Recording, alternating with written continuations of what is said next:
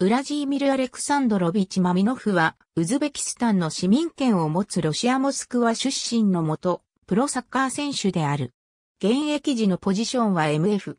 マミノフは2018年現在 FK チュメニの監督を務めている。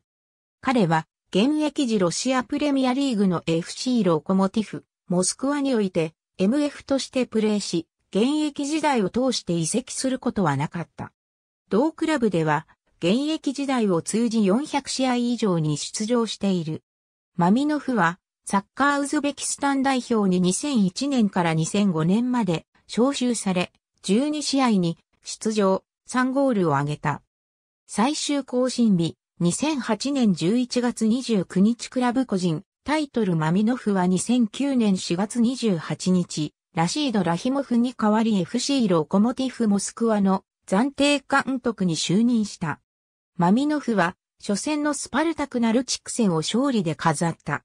ユーリー庶民が新監督に就任すると、マミノフはアシスタントコーチに就任した。2011年6月にユーリークラスのジャンが監督を解任されると、マミノフは再度暫定監督を務めることになった。暫定監督を3週間務めた後、ジョゼ・コーセーロが新監督に就任、再度アシスタントコーチに就任した。ありがとうございます。